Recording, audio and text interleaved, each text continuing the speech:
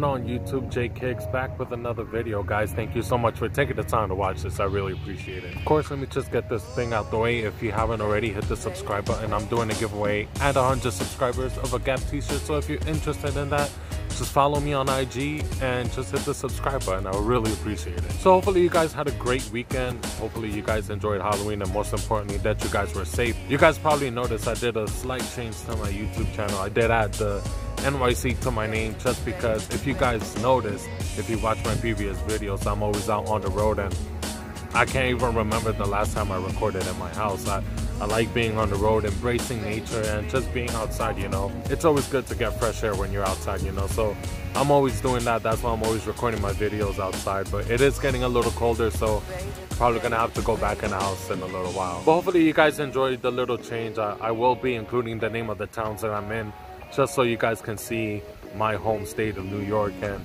how beautiful it is over here, even though it's expensive as hell. But besides all that, we do have sneakers to talk about and I got a pair of 700s that actually released around this time last year. I can't remember if it was around September or October, but we're in November now, but I got this in a size 10 and a half. You can see there it says teal blue, regular Yeezy. Regular Yeezy 700 boost made by Adidas and this is actually my first pair of 700 and on top of that they're extremely underrated i feel like it's one of those 700s that should have gotten a whole bunch of attention but didn't. So here it is guys, the 700 V1 in the teal blue colorway. So right off the bat, you can see that iconic outsole. Then you have your boost peeking through at the bottom of the shoe. You have the fangs that you always find on the 700 models. And I always feel like pictures really don't do Yeezys any justice. Looking at this in person, this, this is teal blue. If you've seen previous pictures, it looks like they changed up the colors a little bit. They actually went with like a lighter tone. I kind of wish they kept the old color because I feel like with the orange laces, it would have popped even more and it would have looked even nice. But I'll talk about the laces in a little bit. But like I mentioned, it does have that light teal blue color along with the gray leather and also the gray mesh with the silver drips on the side. And if you didn't know, if I'm not mistaken, actually, this is the first Yeezy to ever have extra laces. So I kept the laces in the box. It kind of looks um, brown, grayish a little bit. I feel like these laces are nice too, but the orange just puts the sneaker all together, you know. It, gives it that extra pop, which is nice. And I'm really glad they went with the orange laces, honestly. Nowadays, we're seeing an extra pair of laces because they are going for that slip-on feel on the sneakers, but I feel like having the, the loose ones are always the best ones, especially when you gotta rock the 700 like this.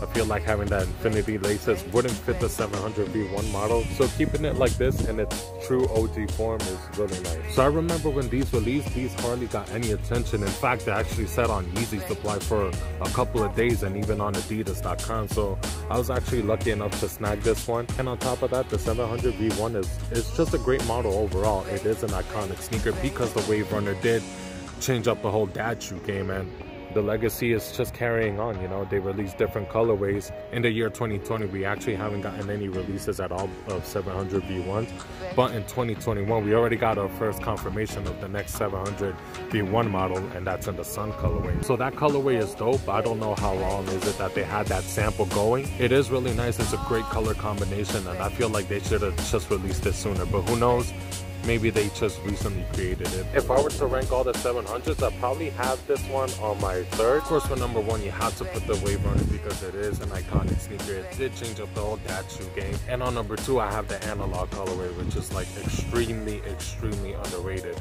You really can't go wrong with an all-white sneaker. And on top of that, it's a V1 model, so come on, you really can't go wrong with it.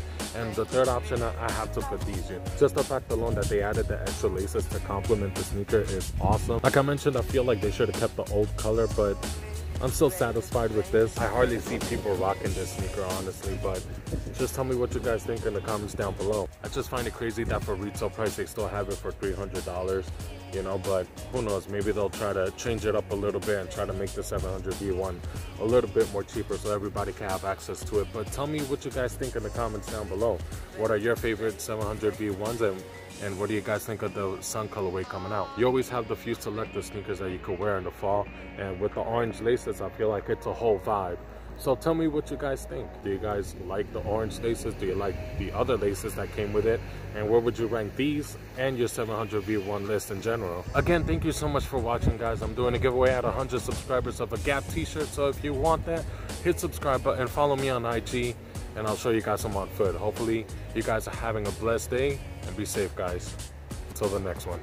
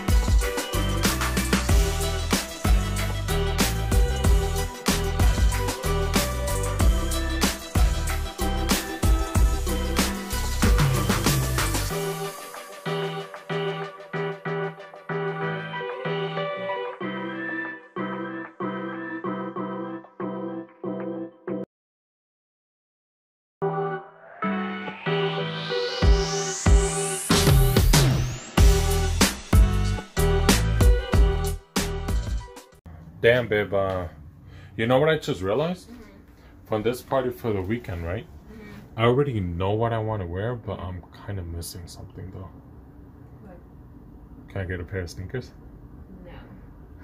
I'm gonna wear dress shoes for a party that you have. Are you ever gonna say yes? I'll think about it. Oh, okay. Mama, will you say yes? She's thinking about it too. Maybe next time.